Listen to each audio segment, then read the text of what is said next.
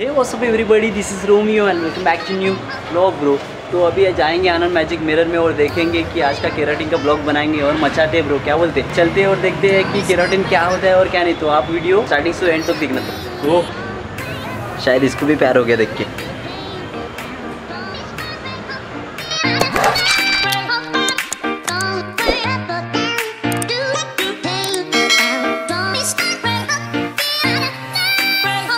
सो so guys जैसे कि अपन आनंद भाई के शॉप में आ चुके हैं और आनंद भाई चल रहा है, थोड़ा सा बिज़ी और अपन थोड़ी देर में केराटिन स्टार्ट कर देंगे और मैं वीडियो के लास्ट में एंड में बता दूँगा आपको कि आपको केराटिन करना चाहिए या नहीं करना चाहिए और क्यों करना चाहिए। तो गाइज़ आज का आउटफिट देख लो आप लोग।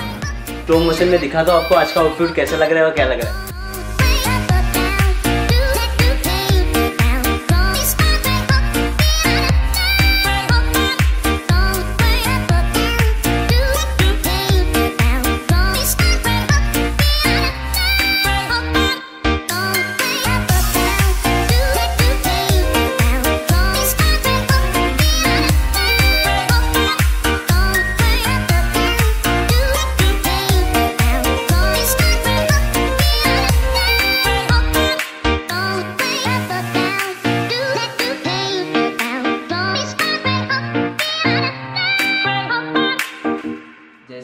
अपना केराटिन अभी चल रहा है तो मुझे आनंद भाई बताओ कि केराटिन और स्ट्रेटलिंग में क्या फ़र्क है? केराटिन क्यों करना चाहिए अपन ने? केराटिन से बाल स्मूथ होते हैं सॉफ्ट होते हैं और शाइनिंग वगैरह बहुत अच्छी आती है।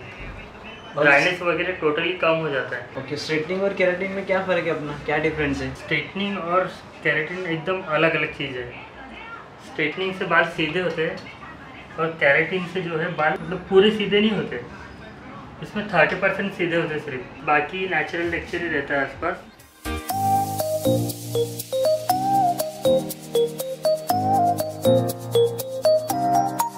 जैसे कि अपना केराटिन चल रहा है तो आनंद भाई मेरे को बताओ कि ये केराटिन अपना कितना दिन इफ़ेक्ट रहेगा? इसका क्या रहेगा? ये कम से कम छः से आठ महीने तक इसका इफ़ेक्ट रहेगा।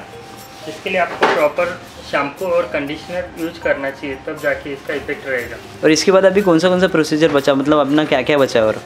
ये अपन सब, सबसे पहले शैम्पू किए उसके बाद में रेसिस्टेंट इसका जो प्रोडक्ट आता है वो यूज़ किए। इसके बाद में ये भी प्रोडक्ट लगाए के होने के बाद में ये फॉइलिंग किए।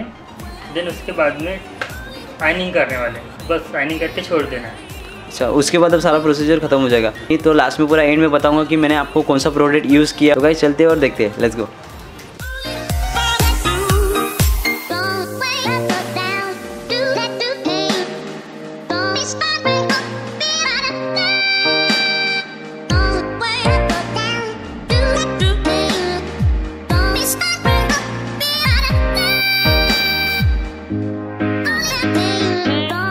सो गाइस जैसे कि अपना चल रहा है अभी केराटिन का ट्रीटमेंट और अभी चल रहा है अपना आइनिंग तो अभी ब्रदर मेरे को बताओ कि आइनिंग में अभी कितना टेम्परेचर रखा है अभी अपने ये 210 टेम्परेचर रखा है।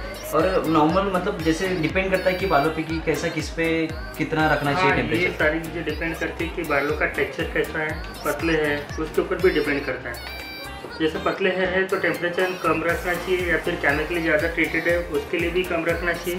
जैसे कि 160 या 170 वगैरह ज़्यादा केमिकल है तो या फिर नॉर्मल हेयर है तो 200 210 तक और बहुत अच्छे स्ट्रॉन्ग हेयर है तो उसके लिए 230 वगैरह रख सकते हैं आप। जैसे कि आनंद ब्रदर ने बताया कि मतलब इतना टेम्परेचर रखना चाहिए तो मेरे को बताओ कि इसका प्रोसीजर पूरा कितना है पूरा केराटिन ट्रीटमेंट का कितना प्रोसीजर रखना डिपेंड करता है कि बालों की लेंथ कितनी है।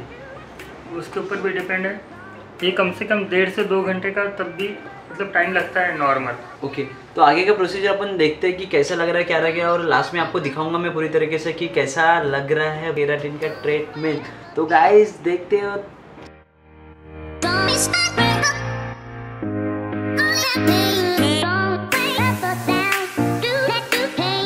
गाइस जैसे कि अपना आज का केराटिन का ट्रीटमेंट हो चुका है और अपने कंपनी का यूज़ किया है और जीके कंपनी का यूज़ किया है। मिलते हैं नेक्स्ट ब्लॉग में। केराटिन का ट्रीटमेंट या स्ट्रेटनिंग करना हो तो यहाँ पे डिस्काउंट भी चल रहा है। तो आनंद भाई की शॉप में आप विज़िट कर सकते हो। आनंद भाई के शॉप का एड्रेस है डिस्क्रिप्शन में hope you guys love this video don't forget to subscribe and press the bell icon आप लोग मुझे इंस्टाग्राम पे फॉलो नहीं करते। Go follow me on Instagram Instagram में link description love you all and peace out see you next blog